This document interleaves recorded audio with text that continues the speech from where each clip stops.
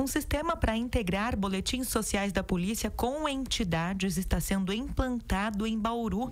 E para conversar conosco sobre esse sistema, aqui no programa Espaço Aberto, pela TV e Rádio Câmara, nós recebemos o Major Fábio Pereira, que é subcomandante do 4 BPMI, que é o 4 Batalhão de Policiamento Militar do Interior.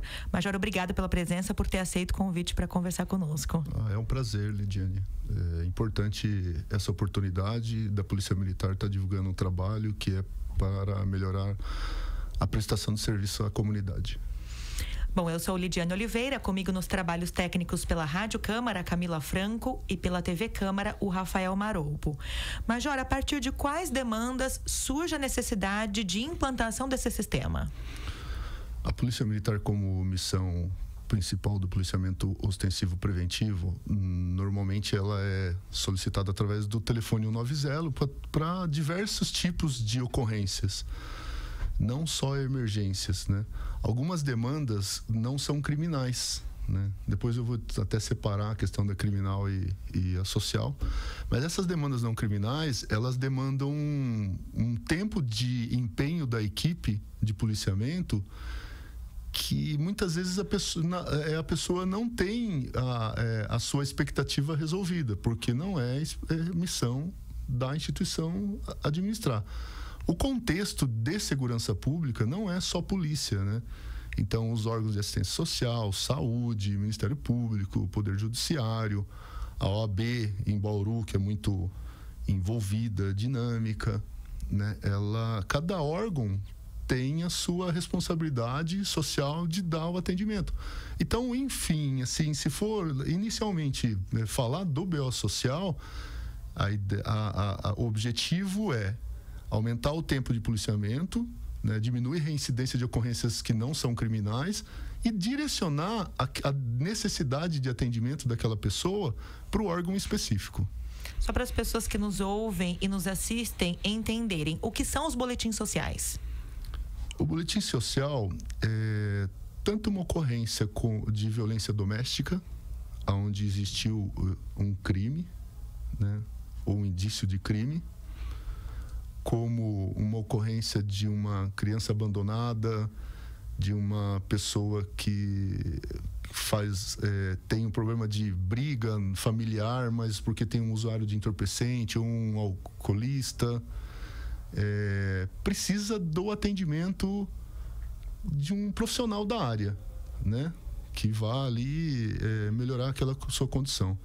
É, essas, essa, esses tipos de situações sociais, a, as maiores demandas que nós temos na região de, de Jaú, onde eu trabalhei e participei do processo e a responsabilidade de implantação do sistema, basicamente são violência doméstica, tentativas de suicídio e ocorrências com entorpecentes. São os principais casos que entram nessa classificação. É, atualmente, sim. Então, são as principais demandas que nós estamos focando para melhorar a, a dinâmica de atendimento, né? Quando a gente fala no envolvimento da polícia por meio desse sistema novo que vem sendo implantado, né, o nome dele é Orion, uh, o envolvimento da polícia com entidades da organização civil, nós estamos falando de conselho tutelar, de secretarias municipais, são essas instituições. Sim, os órgãos de atendimento de demandas sociais. Né? É, vou partir de um, de um, Vou te dar um exemplo. Né? Um cidadão, ele estava alcoolizado, chegou do trabalho, em vez de ir para casa, foi tomar um, uma. foi beber. E a esposa teve problemas, né? De ali a gente, o nome entre aspas seria uma desinteligência, né? Uma discussão entre marido e mulher. E ela pediu auxílio da polícia militar. Não chegou a gerar ali uma violência. E a, e, o, e a equipe, quando chegou e chega, o nosso policial é, ele está sendo orientado aqui nessa fase de, de implantação a fortalecer o olhar humanizado aquilo. Porque a hora que faz o boletim de ocorrência, que hoje é digital, é importante para o profissional de assistência social, psicólogo, psiquiatra, é, o, o, assistente social, o, se envolve uma criança, é, o conselho tutelar, é, se envolve a mulher, a casa da mulher, os conselhos que atendem as demandas, né? Aqui específico em Bauru, a Casa da Mulher, né?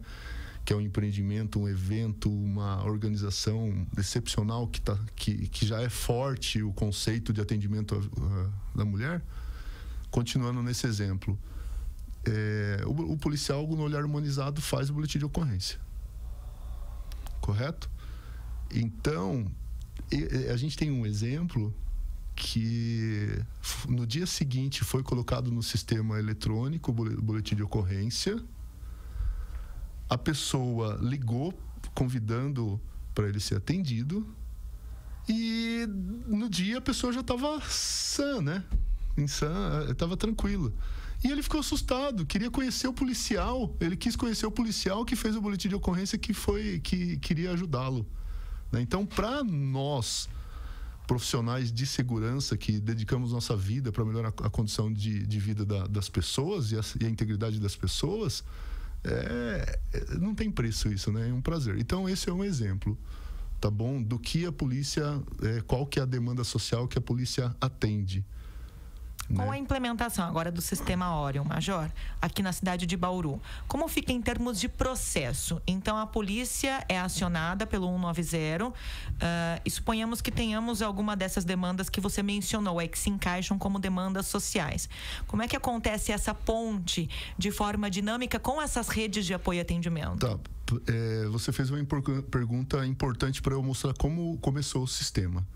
Né? Então, o 90 gera, gera a demanda de atendimento, a viatura vai no local, se é criminal, ela dá atendimento, faz o boletim de ocorrência.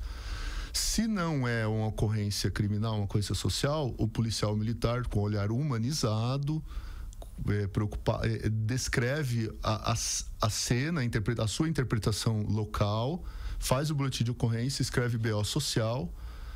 Antigamente, era um carimbão. Ah, vai é, oficiar o órgão XY, né? oficiar a base sempre, a Secretaria da Saúde, a Secretaria de Assistência Social, né? para dar um atendimento àquela pessoa.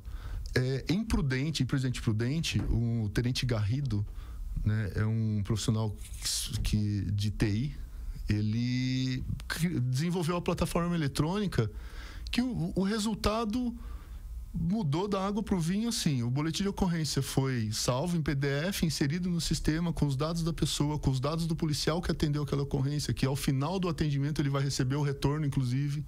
Todas as pessoas envolvidas no processo vão, vão receber o retorno. E tem, a gente tem um histórico ali.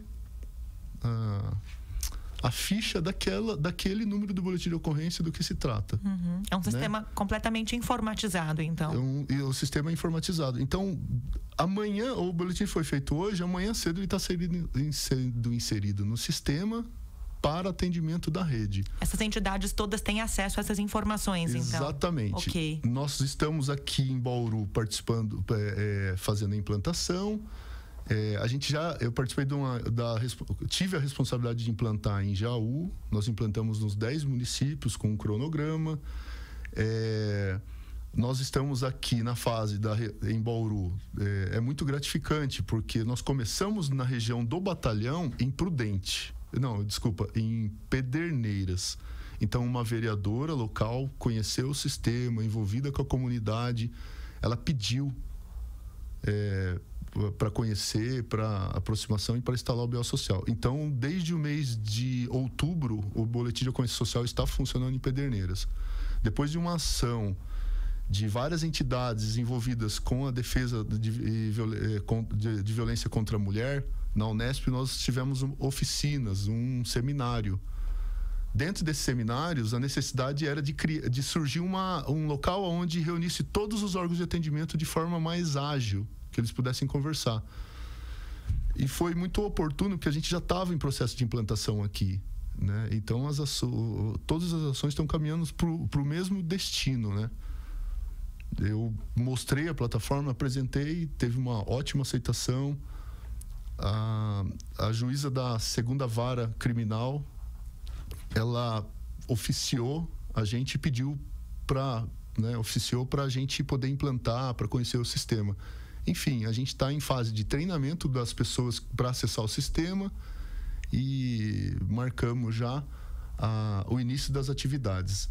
Na prática, a partir do dia 1 de janeiro, os boletins de ocorrências sociais são, estão sendo, vão ser inseridos no sistema, no sistema Óreo, na plataforma, e o objetivo é, de, é, direcionar essas demandas com a maior agilidade possível.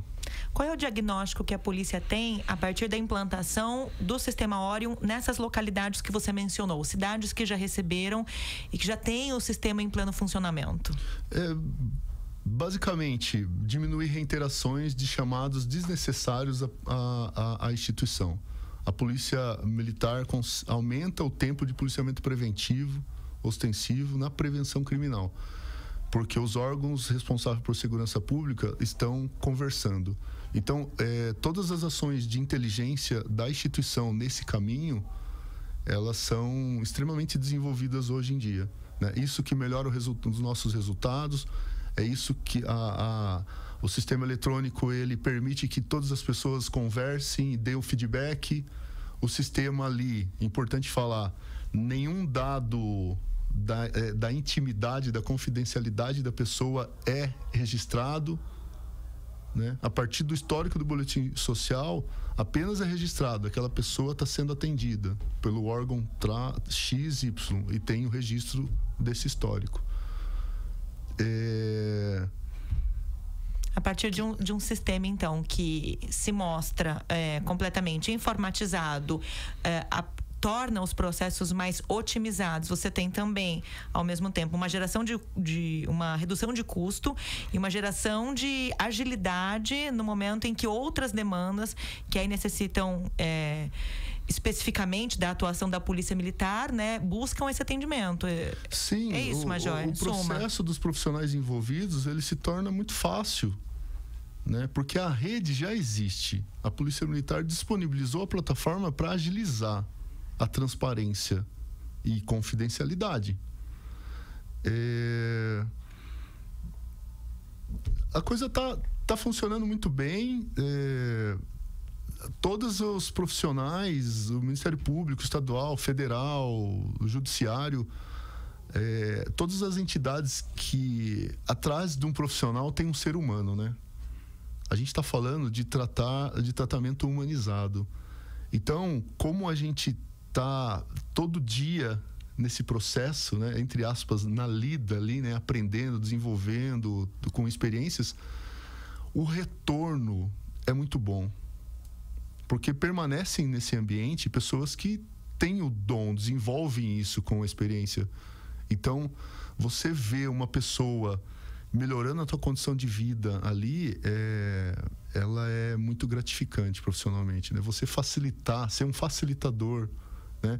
Eu já tive, tive, tem experiências na região de Jaú que o marido é alcoólatra, diabético, a esposa não sabia o que fazer, não sabia quem procurar e a polícia foi lá. Cidades menores, o sistema é, é, ele integra muito bem porque é, é, é mais dinâmico, né? E e a gente vê essa pessoa sendo assistida, a gente marcar, é, conseguir atendimento para ela, o registro ali é muito bom, entendeu? Se for necessário ali no próximo sistema a inter, é, decretar às vezes a interdição de uma pessoa, alguma coisa, é, a coisa funciona. Uhum. Só para a gente fechar a entrevista, Major, como é que funciona o cadastramento das entidades, além das entidades ligadas à prefeitura, às secretarias municipais? Com quais eh, organismos da sociedade civil vocês estão atrelados agora, a partir da implementação dessa rede? Bom, é, os órgãos de atendimento de demandas sociais. Né? Então, a polícia é um órgão que faz cumprir a lei, então ele entra em vários momentos né? Aqui é importante para te responder, deixar claro que já existe uma rede de atendimento à mulher, da, da Casa da Mulher, dos, dos conselhos comunitários de responsável pela, por, pela prevenção e segurança da mulher, envolvimento da, da, da vara da família, envolvimento da, da delegacia da defesa da mulher.